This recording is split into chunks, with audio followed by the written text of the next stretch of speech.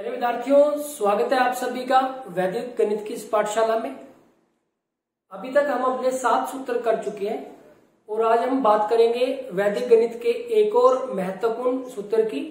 ये हमारा आठवां सूत्र होगा और सूत्र का नाम है पूर्ण अपूर्णाभ्याम। प्यारे बच्चों, संस्कृत के शब्द है, शब्द सूत्र है।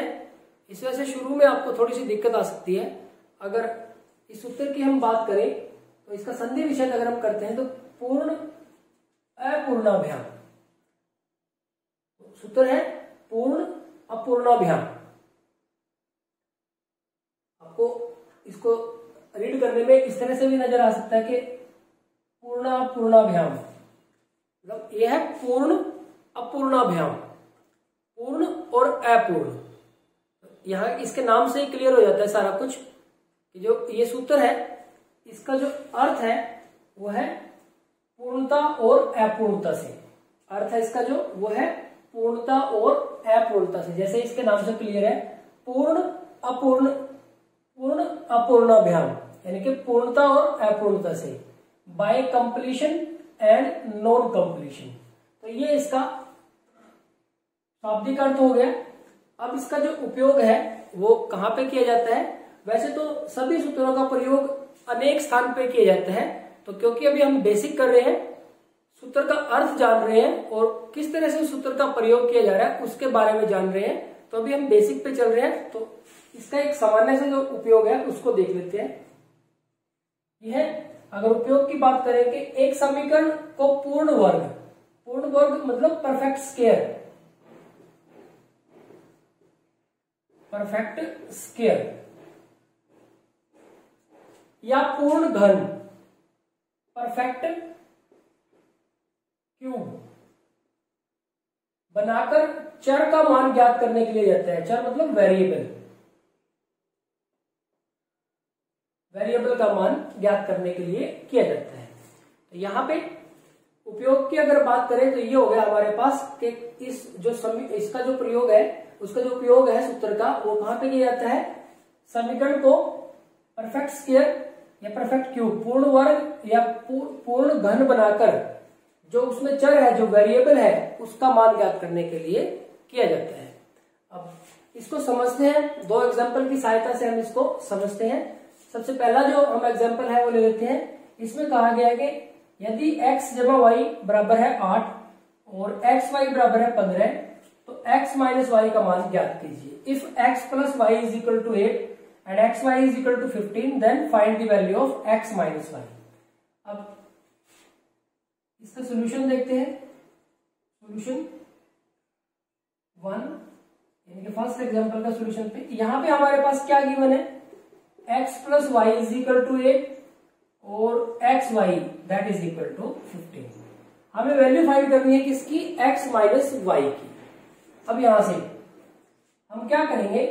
X माइनस वाई का परफेक्ट स्केयर बना लेते हैं। इसको हम लिख रहे हैं कि x plus y it's whole square plus four x y पहले तो एक बार इसको समझ लेते हैं कि ये हुआ कैसे। अब देखो, x minus y square that is equal to x plus y it's whole square plus four x y लिखा है। इस पे आइडेंटिटी अप्लाई करते तो ये होता है x square plus y square minus two x y इस पे जब हम आइडेंटिटी अप्लाई करते हैं तो ये है x square plus y square plus two x y और ये हो गया हमारे पास प्लस के फोर एक्स वाई ये तो गड़बड़ होगी, ये तो माइनस के है और ये प्लस के हो गई अब देखो एक्स स्क्र यहाँ पे रहा वाई स्क्र यहाँ पे रहा, यहाँ पे माइनस के टू एक्स वाई है और यहाँ पे प्लस के सिक्स एक्स वाई है। तो यानी कि हमें इसको क्या करना पड़ेगा? माइनस करना पड़ेगा। तो यहाँ पे हम क्या कर देते हैं? माइनस कर देते हैं। यानी कि अब ये हम इसको यूज़ करेंगे। अब इसकी सहायता से हम ये वैल्यू इसके अंदर रख देते हैं। देखो, ये वैल्यू रखेंगे, x प्लस वाई की वैल्यू एट है। तो एट का स्केयर सिक्सटी फोर हो जाएगा minus four into x y की वैल्यू फिफ्टीन है। तो फोर इंटू फिफ्टीन फोर की फिफ्टीन के साथ मल्टीप्लाई करेंगे। फोर की हमें फिफ्टीन के साथ मल्टीप्लाई करनी है, यहाँ पे भी आप लिखना चाहो तो लिख सकते हो कि ये एट का स्केयर लिखा है। यहाँ पे हम वैल्यू निकाल रहे हैं एक्स माइनस वाई स्केयर तो ये x minus y square that is equal to sixty four minus sixty कितना आ जाएगा? फोर आ जाएगा। तो यहाँ पे एक्स माइनस वाई की वैल्यू कितनी आ जाएगी? प्लस माइनस रूट फोर तो यहाँ से एक्स माइनस वाई की वैल्यू आ जाएगी प्लस माइनस टू तो ये हमारे पास इसका आंसर है। इसको और आगे भी बढ़ाया जा सकता है। अगर आपसे एक्स और वाई की वैल्यू भी पूछे तो अब देखो एक्स प्लस वाई की वैल्यू तो कितनी है? एट एक्स प्लस वाई की वैल्यू तो कितनी है? एट और एक्स माइनस वाई की वैल्यू कितनी है? एक बार तो टू ले लेते हैं तो इन दोनों को हम सोल्व कर देंगे। अब इनको सोल्व करेंगे तो प्लस करें तो ये कैंसिल हो जाएँगे। Two x is equal to ten x is equal to five ये तो कैंसिल हो गया जब प्लस किया तो two x is equal to ten x is equal to five अब x की वैल्यू फाइव इसमें रखेंगे तो five plus y is equal to eight y is equal to three तो ये x और y की वैल्यू भी आ जाएगी। तो ठीक इसी तरह से सेकंड पार्ट है जो x minus y is equal to minus two लेके हम इसको सोल्व कर देंगे। तो इस तरह से जो वेरिएबल है, उसकी वैल्यू भी हम निकाल सकते हैं। तो एक तो ये हुआ हमारे पास कि हमने परफेक्ट स्केयर बना लिया।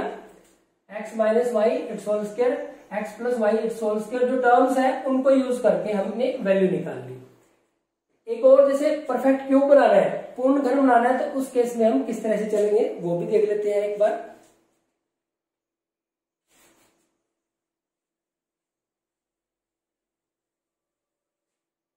यहाँ से अगर हम इसको लिख दें तो एक्स माइनस वाई इसकी वैल्यू आ गई प्लस माइनस टू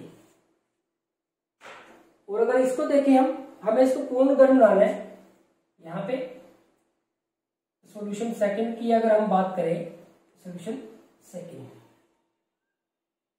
यह है हमारे पास x cube plus six x square plus eleven x plus six is equal to zero अब आप देखेंगे कि a plus b it's whole cube ये होता है a cube plus b cube plus three a b into a plus b अब यहाँ पे देखो एक्स है। एक्स प्लस कॉन्स्टेंट टर्म यहाँ पे सिक्स है। तो वन का क्यूब होता है वन टू का क्यूब होता है एट अभी ज़्यादा हो गया। तो यही ले लेते हैं हम। ये हमारे पास सिक्स है एट से लेस है। जिससे, जहाँ पे क्यूब्स करके देख लेंगे, जिससे लेस होगा, वो वाला ले लेंगे। टू का क्यूब हमारे पास एट बनता है तो टू ले लेते हैं। तो यानी कि एक्स प्लस टू का क्यूब अगर हम लें तो हमें कितना मिलेगा? X cube plus two cube plus three into x into two three a b into a plus b यानी कि एक्स प्लस टू ये हो गया हमारे पास x cube plus two cube eight हो जाएगा। ये सिक्स एक्स और ये एक्स प्लस टू और ये बन जाएगा हमारे पास x cube plus eight plus six x square plus twelve x अब हम इसको क्या करते हैं? इसको पावर्स के हिसाब से डिक्रीजिंग ऑर्डर में लिख लेते हैं एक्स क्यूब फिर सिक्स एक्स स्क्र फिर ट्वेल्व एक्स और फिर एट ऐसे लिखा हमने अब ये हमारे पास परफेक्ट क्यूब है। इसको हम परफेक्ट क्यूब बनाएँगे। इसको हम परफेक्ट क्यूब बनाएँगे। अब इसको परफेक्ट क्यूब बनाने के लिए आप देखिए हमें क्या क्या चाहिए। एक्स क्यूब हमारे पास है। लिख दिया हमने। एक्स क्यूब है हमारे पास प्लस सिक्स एक्स स्क्र ये भी है हमारे पास प्लस ट्वेल्व एक्स यहाँ इलेवन एक्स है और यहाँ पे मैं अगर ट्वेल्व एक्स लिखता हूँ वन एक्स एक्स्ट्रा लिख दिया और प्लस एट चाहिए। प्लस एट में लिखता हूँ तो इसको बैलेंस करने के लिए मुझे क्या करना पड़ेगा? देखो, यहाँ हमारे पास इलेवन एक्स थे, मैंने इसको ट्वेल्व एक्स किया तो मैं माइनस एक्स कर देता हूँ। और यहाँ पे हमारे पास प्लस सिक्स थे और मैंने इसको प्लस एट लिख दिया तो मैं माइनस टू कर देता हूँ। That is equal to zero तो ये स्टेप आपको ध्यान रखना है। यहाँ पे मैंने क्या किया कि twelve x minus x eleven x और एट माइनस टू सिक्स। ये यूज़ कर लिया। अब आप देखेंगे, ये जो पार्ट है अगले वाला, ये हो गया x plus two it's whole cube. इसके हिसाब से।